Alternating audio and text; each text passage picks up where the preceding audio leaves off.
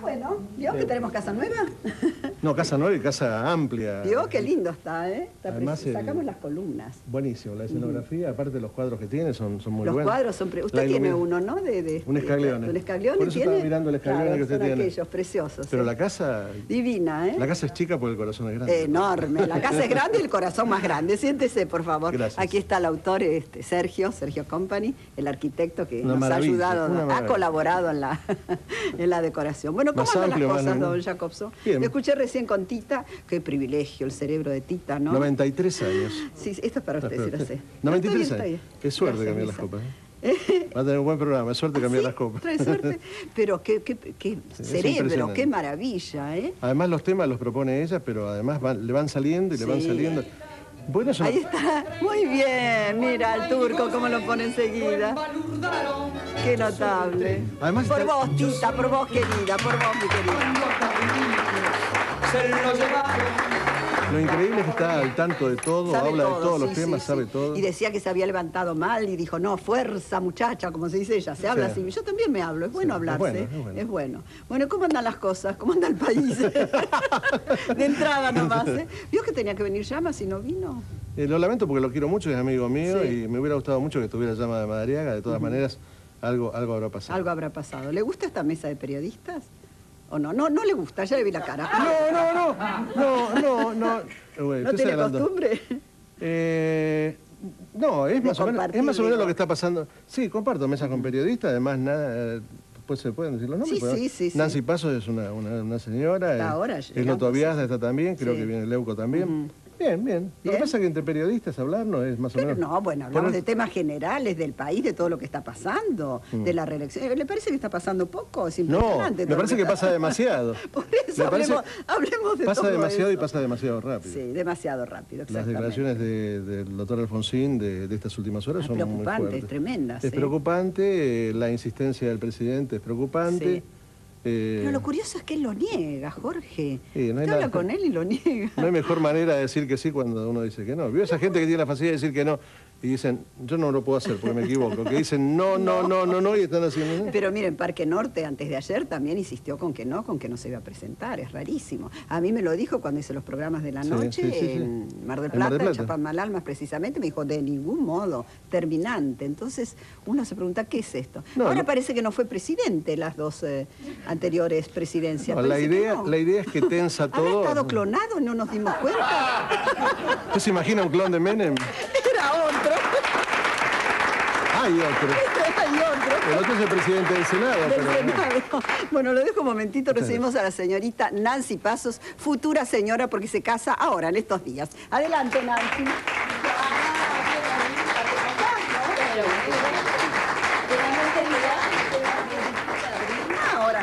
Así para Pinta de Jorge. futura señora. Pero preciosa, Ya estoy, mirá ya qué la- figura. pero Qué claro. elegante se me vino. No te voy a decir nada. No, Ay, no, no, claro, no, no, pero no, yo decir todos los esfuerzos que hago solo para que no me rete me alegran cuando yo vengo. Ella insiste, yo nunca la reté. Te habré dicho, ay, porque no ¿Cómo te no? venís Sí, mona, una mujer dicho. tan bonita, con una figura tan linda, hay que lucirla, ¿no es Por cierto? supuesto. Así que el 20, gracias Luisa, el 25 de abril. 25 de abril Ajá. y ya, ya el modisto está notando que cada vez hay menos kilos, por Seguro te vas adelgazando. Así que Vos sí, tenés pero programa ahora bueno. Enseguida, Yo me voy de acá corriendo. volando a las no- dos y media, ¿no? No transmitimos desde acá. Pero, pero yo encantada. Los móviles, un móvil. Un móvil. No, que Para tanto radio. encantada que yo vengo siempre que me invitan y usted no viene a mi programa. Yo sabía que me iba a Así hacer que es la factura. jugaba cualquier cosa Empecemos con la primera factura. Yo la llamé 30 veces. la Llamé a Punta del Este, a ningún lado no contesta la Mira, señora. bueno, yo estaba descansando un poco, entonces trataba de no, no tener contacto con, con periodismo y demás, porque bueno, eso Lo implica... bien que hace. No, no, no, estaba descansando, de verdad, porque lo necesitaba. Tuve un verano muy, muy intenso. Muchísimo trabajo, pero fascinante, ¿eh? gratificante desde todo punto de vista. Y después llegué, bueno, ya, yo descansé dos semanas. Empecé inmediatamente con este programa. Entonces, este, ahora sí, a partir, a partir de mañana terminamos la primera semana. Ya ¿Mañana estoy como a liberada. No, el lunes empezó. El lunes. No quiero verla en ningún otro lado antes. ¿eh? ¿No? No. Oh, mi terminante la paso. ¿Así sos con el presidente también? Con todos. ¿El presidente te quiere o no? Bueno, con el vicepresidente soy así porque ayer no me dejó venir. Pero ahora lo vamos a hablar este tema, ¿eh? ¿Qué pasó? Me llamaron de la privada del, del- del vicepresidente y me explicaron que en realidad no era nada contra mí, Sí. simplemente que él se iba a sentir muy atosigado. Ay, por Dios, no me Este, atosiguéis. Exacto. Así que bueno, pero lo perdonamos. ¿Por Aparte mí vamos a perdonar? Me parece me horrible que alguien te diga no, no venga. Bueno, Yo- pero nosotros hoy. pensamos que era eso, ¿no? Sí, sí, Después dijo, eh, yo dije, bueno, en un momento dijo, yo voy a escribir un libro sobre las cosas de la televisión, lo- los pormenores, los entretelones, el backstage de la televisión, cuando la gente no viene en el último momento. Dice, ay, yo también, nosotros también vamos a escribir uno sobre la televisión. O sea, no sé, será sobre Hay varios, hay varios, sí, hay varios dando vueltas. Pero rarísimo fue, Pero bueno, muy yo, extraño. Me parece que en realidad lo que le pasa a, a Rucauf es que está en el medio de la guerra entre Menem y Dualde, es vicepresidente de uno y acompaña hasta ahí a otro. Pero Sí, bueno. vos habías lanzado lo de Rucafa al gobierno, Menem al poder, fuiste vos la que lo Sí, lanzó, sí, por sí, eso sí. no habrá querido venir. No Reci- quiere ser un campo, la dice. Seguramente. Recibimos ahora al señor Marcelo Slotoviazda, periodista. Adelante, Marcelo. ¿Qué tal? ¿Qué tal, ¿Cómo anda? ¿Bien? ¿Estás bien? Bueno, leí otros artículos en tres puntos. Bueno, se conocen todos, así que están de más mis presentaciones. Siéntate. Mar Marcelo sos, estoy, Sí, estoy sí, diciendo sí, bien, sí. Sloto. Es igual que. Longobardi, pero él viene. Él viene. Otro misterio. Che, empecé, qué no vino? ¿Por qué no vino? empecé hace tres días, mira, tres periodistas que no vinieron.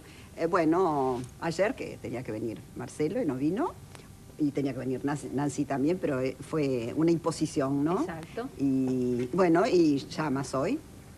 Raro, Ya más ¿no? anoche me dijo que tenía un problema con la radio, que Sí, se habían sí, levantado sí, dos sí. programas Sí, y que sí, iba a sí, tener lo una dijo, reunión. él lo dijo. Bueno, habrá sido casual. Yo quiero pensar bien, soy bien pensada, no soy mal pensada. Bueno, ¿cómo están las cosas, Sloto? ¿Cómo anda el país? ¿Cómo anda Oh. todo?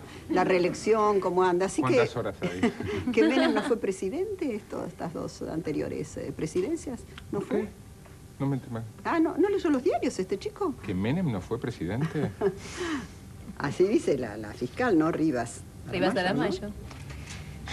Ella habla de eso. No me preguntes a mí de la re reelección. ¿No Yo, yo ¿O no te quiero- gusta, o no querés? No, no me gusta. Ah, no- no quiero, te- quiero seguir creyendo que él no quiere. Que él no lo quiere. que busca otra cosa, pero ¿Y qué busca? pura voluntarismo. Y hacer puerta de Sí, hierro Rivas en. Anillaco, por ejemplo. A eso me dijo a mí. Que se- ser el jefe de una Ahora, ¿vos no oposición te muy dijo fuerte. que era un chiste? No, dijo que, que en realidad, yo lo que creo es lo que dice él en la intimidad, y que es que a él nadie lo va a mandar ni lo Panillaco, menos Dualde. Este, y bueno, hoy a la, a la mañana en la casa de, en Olivos, que fue la reunión de gabinete, dijo, no pienso hablar más de este Sí, tema, ¿no? lo escuché esta mañana por Este, radio, Pero sí, bueno, después dice, dice de todo. Obviamente Menem, digamos, lo que tiene es ganas de quedarse, ganas de, de seguir teniendo poder y lo va a tener a costa de cualquier cosa, a costa de nosotros. Lo más lúcido que escuché eh, es, aun cuando lo dijese en chiste, lo más lúcido fue alguien que dijo, a nadie se le ocurriría que Clinton en Estados Unidos fuera a decir algo así, ni aún en chiste. Y acá sea verdad, sea mentira, sea una especulación para mantenerse en el poder hasta el 99 y no desgastarse en el último año ante el encumbramiento del precandidato, Sí. del candidato del justicialismo, es poco serio de todas maneras y es preocupante. Es que no es chiste. Aun cuando fuera chiste es grave. Él dijo que era un chiste. ¿eh? Cuando lo dijo Nanillaco se rió como un loco. ¿No Estaba lo vieron? estaba ella, sí. Estabas vos ahí en ese momento. Pero ¿Dónde no era? ¿En la hostería? ¿En la hostería sí, en la hostería de Ajá. Millán. Pero Ajá. no fue un chiste. No en realidad chiste. él se ríe porque, bueno, digamos, tiene que zafar. Pero lo dijo antes de ayer en una Sí, reunión de sí, empresarios. sí. No voy a hablar más de la reelección hasta que me reelijan. No, no es chiste. Yo creo que él sigue queriendo estar en el poder y, y, bueno, creo que esto le puede costar muy, muy caro a todos nosotros, ¿no? ¿Qué quiere decir le quiere- le puede- nos puede costar? Es la segunda vez que lo decís. Sí, yo digo nos que puede nos costar caro a todos porque, nosotros. digo, que nos guste o no nos guste es distinto. Digo, ya sé, nos puede costar caro a todos nosotros por un montón de cosas que están pasando. Digo, cuando ayer Alfonsín habla de resistencia civil, cuando ayer Checho Álvarez dice yo renuncio al Parlamento Sí, y todos los lo dijo, legisladores sí, de la. Alianza nos vamos a ir. Digo, evidentemente es un país en el cual yo hasta ayer no pensaba. Resistencia ¿entendés? civil es resistencia armada, se No supone. sé qué es, o desobediencia digo- No, civil. no, no, no, Más lo, desmintió. eso. Dijo, cuando Bueno, le preguntaron Armada, dudó un poco, ¿no? el doctor bueno, no, no Alfonsín quiere dijo, bueno, no, Pero no, no. igualmente, digamos, es un país con un Pero dice que la, gente tendría que salir a la calle, debiera salir a la calle. No sé, a mí me pasó una cosa. Cuando yo conocí Perú, pensé que Perú era muy parecido a la Argentina y cuando llegué a Perú vi lo que era eso, vi cómo se manejaba Fujimori y realmente este, me, me pareció que estábamos a años luz de eso. Y ahora no sé si no estamos más cerca. Y eso me No, asusta. Un fujimorazo. Nos cuesta, caro por empezar porque se supone que esa gente tiene que estar ocupada y preocupada en gobernar. A mí me llama la atención lo de Alfonsín, ¿no? Conociendo A mí me parece sabiendo- maquiavélico la vuelta que le han dado a la Constitución, ¿eh? o pretenden darle. Eso, eso es como, realmente es un trabajo de, de inteligencia, un trabajo finísimo, ¿no? Del doctor Barra, se me Sí, bueno. Barra siempre está pensando Sí. en esas cosas. Bueno, vamos a recibir, a, tengo un, Bueno, un encima invitado también, más que está esperando, el señor Alfredo Leuco, periodista. Adelante, Alfredo. Gracias.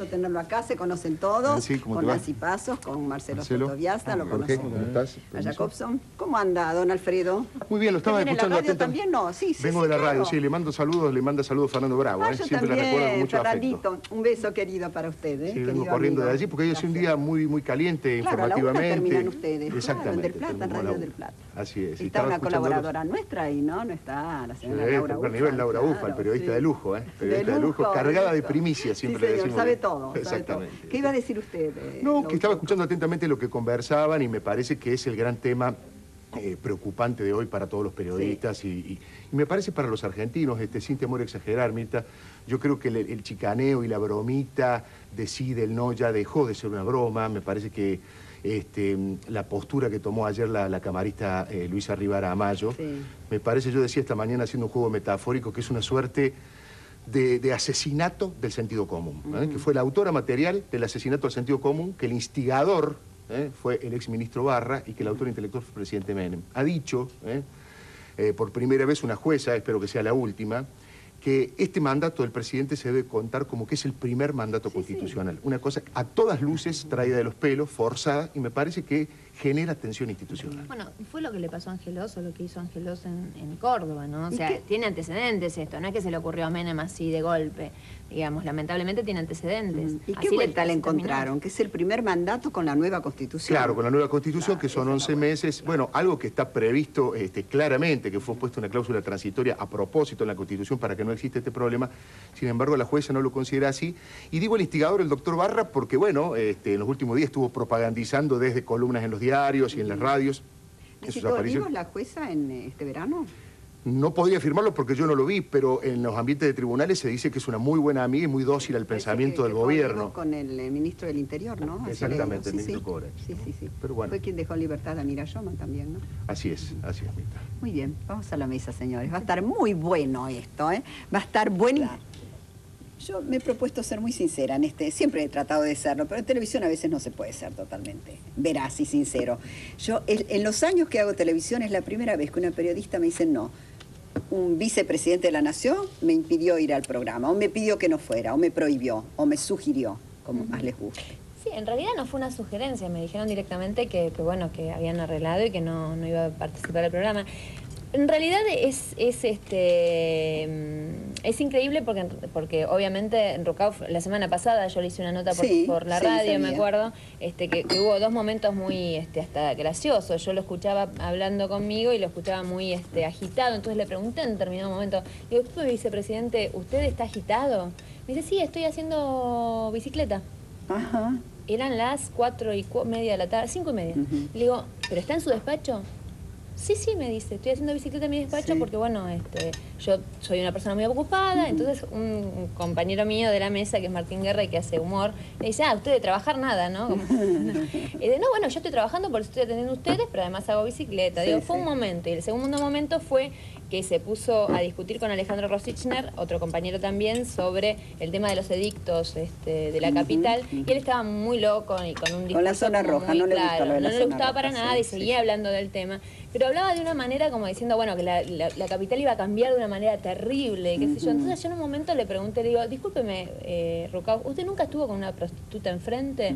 Y me dice, sí, claro. Le digo, bueno, ¿y le parece tan grave, digamos? O sea, mm, digamos, fueron dos momentos así como medio tensos de la Sí. Conversación, pero no creo que haya sido por eso. Lo que yo creo es que Rukauf lo que tenía así miedo o lo que no quería hacer era hablar demasiado de política, ¿Por qué? Porque él está en un momento en el cual, digamos, es vicepresidente de Menem. ¿Y estará jugando y- a dos puntas? No, no es que esté jugando a dos puntas, es que siempre juega a dos puntas. Es, en realidad lo que Le le, pasa es devolviste que... el favor, ¿eh? Agradecido, Rucam. Pero no, el tema es que realmente Menos él mal que le preguntaste si la prostituta había estado enfrente y no abajo. Pero bueno, este, en realidad lo que, lo que tenía era que, que creo que, que en realidad el tema político se le complica porque por un lado, digamos, hasta hace muy poco tiempo los menemistas lo detestaban. Este, y obviamente él era bien dualdista. Sí. Ahora hace un tiempo que los, peronistas lo melonean. Ajá. ¿Por qué? Porque a algunos se le ocurrió que de repente si Menem no puede llegar, quizá puede ser Rukauf, como solo tiene un periodo, en el 2013 él no podría ser de nuevo y ahí vendría Menem, digamos. En esta historia de que, bueno, que ganan siempre las elecciones y todo eso. Pero con Dualde está muy amigo, siempre lo fue. Y ¿eh? ahora Pero volvió a estar amigo con Dualde, digamos. A lo mejor quiere la, la gobernación de la provincia. Bueno, eso es lo que quiere, Sí, sí, él quiere eso. Ahora, Mirta, me parece que lo nuevo no es que un periodista intente censurar o vetar o evitar eh, sentarse a una mesa eh, de un almuerzo o una mesa de A mí es la debate con vez alguien. que me pasa. L- me parece que lo nuevo es que se sepa. Sí, sí. Eso es Sí, por eso me parece saludable No, decirlo. Y a mí me Parece también una señal, una señal este, preocupante de Mirta, ¿sabe qué? Que no es este, el único caso. Está empezando, eh, el otro día usted no sé si ha tenido oportunidad de ver el reportaje que le hace Joaquín Morales Solá en este canal al presidente que estaba en Sí, Olivo. en un lo vi, momento lo el vi. presidente le dice, si yo hubiese sabido lo que me iba a preguntar, no hubiese dado esta nota. Sí, es Como verdad. diciendo, yo le doy nota solamente a los que preguntan suave, a los que preguntan lo que yo quiero, me parece una mala señal. Y para no ser injusto, yo ayer en la radio había hecho una editorial también criticando algunas actitudes parecidas de Graciela Fernández Meijide. Creo que a medida que los políticos se van acercando al poder, eh, se hacen menos tolerantes a la crítica de los Más periodistas. soberbios, quizá. Puede ser más soberbio y Sí. también menos tolerante. Yo digo, deberían agradecerlo porque el periodista que critica con honestidad, no digo el ¿Qué- que hace dijo? operaciones ¿Qué políticas. dijo señora no, en alguna oportunidad le cortó el teléfono también Ah, a un periodista Sí, por, sí, radio, sí, por radio al más puro estilo Cábalo en su momento. Digo, yo creo que el político debe tomar, siendo cuando las críticas son bien intencionadas, Sí. debe tomarlo como una, eh, como eh, la principal responsabilidad que tiene el periodista, que es advertir en dónde ve fallas, tomarlo con alegría y decir, bueno, muchas gracias, voy a tratar de corregir mi error, si es que es un error, y si no, voy a consolidar mi posición. Pero no tomar esta actitud de elegir este, quién es el periodista bueno y quién es el periodista malo. Vos fíjate, ayer Menem, ayer Nunca Menem, quiso ir, perdón, a lo de Nelson Castro, nunca fue. El presidente. Presidente, no, no, jamás, por supuesto. ayer Menem dijo, no voy a conceder ningún reportaje si me preguntan de la re- reelección. Ahora, ¿cómo él sabe No, que no le van a preguntar en un reportaje? Bueno, pero ojo, lo convengamos que, también... lo que Bueno, todos le preguntan, ¿cómo Sí. como él sabe? No, bueno, Si todos eh, le si él dice yo no voy a conceder ningún reportaje Sí. si me preguntan de la re reelección, yo tengo que deducir que todos los reportajes que él concede tienen algún tipo de Ah, acuerdo con el periodista, lo que es gravísimo. Lo que es gravísimo por parte del, pres- del presidente, pero de los periodistas también. No si creo, a mí no me ha pasado Pero también ¿eh? es cierto, digamos, que Menem eh, tuvo una época mucho peor que esta. O sea, del Menem que ah, tenía a Sofovich al lado todo el tiempo, que tenía un montón de gente todo el tiempo alrededor, digamos, que le impedían y que hablaba todo el tiempo por Radio Nacional o con tres o cuatro periodistas, que no viene el caso nombrar, a este Menem que vino lo de Grondona, que se Sí. sienta a todo el tiempo, digamos, Sí. y que hay un montón de cosas, ha cambiado bastante. Y yo, Yo creo debo que eso Raúl decirles- Delgado tuvo algo que ver. Ah, pero- sí, Delgado ha tenido mucho que ver, Raúl Delgado. Eh, Mm, antes del programa, no claro, porque es periodista. Yo siempre le No, no es pre- le digo- funcionario ahora. Eh, Es funcionario. No, un sí. periodista, periodista es como la madre y las prostitutas. No se puede dejar de ser periodista. Lo que pasa es que después, yo voy a, voy a agregar algo porque lo de Leuco me pareció muy inteligente. Y el Otoviada estaba más o menos en la misma. Lo que pasa es que el periodista, el periodista ha cambiado mucho. Por una razón de, de edad. Yo soy mayor que ustedes dos, obviamente que la, que la señora. Y menos lindo. Menos lindo. ¿no? También Ay, por Esto, y esto lo. Esto lo no, señor, usted no tiene edad. Eh, los, per- los periodistas cambiamos mucho, los periodistas cambiamos mucho. Tenemos que reconocerlo, tenemos que hacer un mea culpa, pero en serio, poniendo todo arriba de la mesa. Eh, un presidente de la nación es un presidente de la nación, un funcionario es un funcionario, se ha caído en banalismo que precisamente dan lugar a las cosas que después pasan, al chacoteo y todo eso. Eh, ya no hablemos de respeto a las investiduras por una cosa muy vieja, pero los periodistas eh, hemos cambiado mucho. Así, acá se ha armado un club de periodistas independientes y los que no son independientes y quedaron afuera, hay que preguntarnos. Me lo pregunto porque yo no soy un periodista independiente. Y usted me va a preguntar, ¿dependiente de quién? Y dependiente del grupo para el que trabajo, de la empresa para la que trabajo. Cuando hacía prensa gráfica, más de 20 años, trabajaba para un diario que no está más, que usted conocía, que el diario El Mundo. ¿Cómo no? Después para Crónica, los años que trabajé, los pocos años que trabajé con Crónica, pero con Crónica ya no era el tema, se dependía de la cuota de papel, Entonces, si el diario era opositor, la cuota de papel se le cercenaba hasta que apareció papel prensa y después fue otra historia Es también muy cierto, complicada. sí, Benefició a un grupo de diarios y a los demás los dejó afuera. Así, lo de periodista independiente se hizo como una cosa peyorativa hacia los demás periodistas que, eh, bueno, que estaban en otra línea. Pero Hay ustedes qué opinan, por ejemplo, ¿Qué? perdón que lo interrumpí, No, de favor. la actitud o, o la, la- la actuación del periodismo en el caso eh, Jiménez Roviralta? ¿Les parece que ha estado bien el periodismo? Yo le doy vuelta a la pregunta. Espere. Mm. ¿Usted cree que los periodistas estuvieron bien en el caso de la detención de Lifas y Lavalle? No. Bueno, No. Lifas y Lavalle es una evasora, la justicia Pero determinará. ahí, perdóneme, el culpable ha sido el juez que debió defenderla. Mire, el juez No Cruciani debe es un juez muy honesto, pero se armó un Sí, show. Yo pedí que el jefe de policía lo llamara al comisario Maldonado, Sí. el encargado del operativo, pues si para detener a una evasora, refugiada en la casa de la tía, la abuela, en definitiva no se sabía quién era, hace todo ese operativo, le avisa a todos los medios, para detener a un delincuente armado, bombardea, le pide a la Fuerza Aérea que bombardee el barrio. Sí. Y lo de Zona Jiménez, bueno, eh, Vende.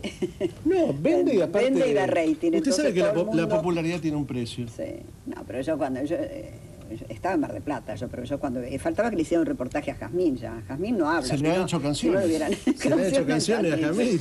Demasiado. Está bien que hace una conmoción. No, pero una, realmente- dos canciones. No, no, me quedé pensando en lo que vos decías. Yo tengo- Eh, Diga, independiente, independiente es independiente cuando uno se guía por el criterio de la verdad y de informar. Es muy difícil. Sí, pero cuando no se le dice a la gente de dónde se saca la información, vale decir, y se recibe información de los funcionarios, se es dependiente del funcionario que te da la información. ¿Ustedes qué piensan? Y eso Paso está otro pasando. tema. Por ejemplo, casi todos los canales de televisión están en manos de, de tres o cuatro empresas o señores. ¿m? Dos. O dos, no tres o cuatro, de dos. ¿eh?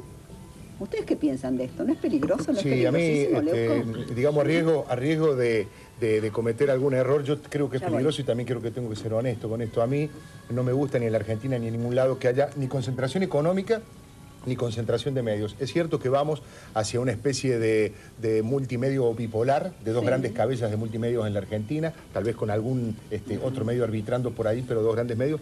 Me parece que no ayuda a la consolidación de la ¿Quiere que democracia, que, no ayuda a la búsqueda de la verdad. Sí, hay dos grandes grupos, Sí. uno encabezado por lo que se conoce como el grupo Clarín, Clarín. y otro por el grupo del Citibank, el SEI, para llamarlo, pero este, básicamente están agrupados en esos dos sectores. A mí no me parece bien y tampoco me parece bien que los dueños de los medios, eh, no le hace bien a ellos, a nosotros como periodistas y a la verdad, que incursionen en negocios extraperiodísticos. Me parece que el crecimiento de los negocios tiene que ir por el lado siempre del entretenimiento o de la información, pero que incursionen en inversiones que sean fuera del periodismo, finalmente eso va a conspirar contra el criterio de verdad y me parece que no le hace bien a nadie, incluso a ellos mismos, insisto. ¿eh? En ningún lugar, en ningún lugar del mundo, ¿Ocurre en esto? ningún lugar del mundo está permitido legalmente. Acá tampoco. está- ¿eh? no, semejante tampoco, concentración. ¿no? Acá sí, acá sí está permitido, acá sí está permitido no legalmente. está. Y Bueno, la gente se trabajan en el grupo Clarín y... No, yo no. No, el grupo Telefe. Ah, Telefe, Eh, Ah, no, Telefe. de Clarín. Te voy a contar- te voy a Ah, no, contar- te voy a contar un ejemplo. Bueno, en Telefe también tiene. su- Te voy a contar un Yo ejemplo. esta mañana pensaba, discúlpeme en casa,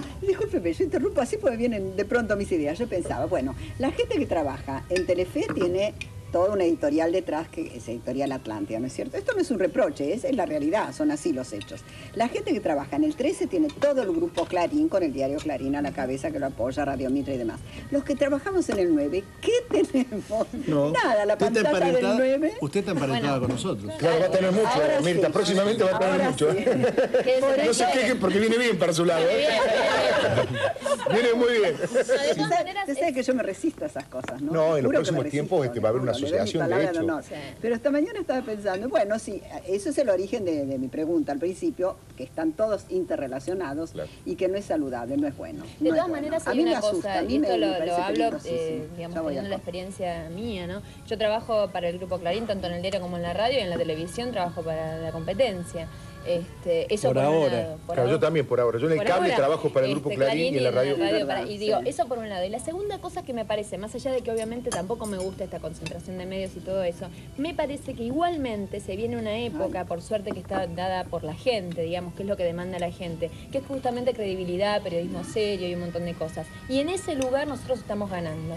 ¿Por qué? Porque me da la sensación que este, en los mismos holdings, digamos, hay espacios, digamos, de... A mí no me dicen todo lo que yo tengo que decir. Y muchas veces veces es que digo cosas que no, que, que quizás a la empresa corporativamente no, le, no les vienen bien y sin embargo tengo espacio para decirlo. Entonces me parece que, ojo, digamos, esta historia de que los medios están tan concentrados y qué sé yo, sin embargo, los medios también tienen que vender y tienen que Sí, vender credibilidad. no, no, no, no es bueno, no es bueno. No, no, no hace a la libertad ni a la democracia eso. Yo iba a firmar mi contrato con América 2 y a último momento hubo una presión tan grande, tan grande para que yo me quedara en este canal, lo digo así, ¿eh? sin eufemismos y sin vueltas. Que entonces, bueno, me quedé, me quedé a gusto, no. Mi contrato era mucho más ventajoso en el otro canal, pero a mí me gusta trabajar acá. Yo aquí me siento feliz y a esta altura de mi vida yo busco mi comodidad y mi tranquilidad. Pero hubo una presión de uno de los grupos que yo nunca imaginé que yo fuera tan importante como para que gravitaran estos. Pero usted se lo eh, había preanunciado Carlos Ávila en un almuerzo que tuvimos, ¿se acuerda? Que me dijo que sí. García, Estaba usted estaba también, sí, sí. Moreno sí, Campo, Sí, sí, señor, sí. ¿Qué me había preanunciado?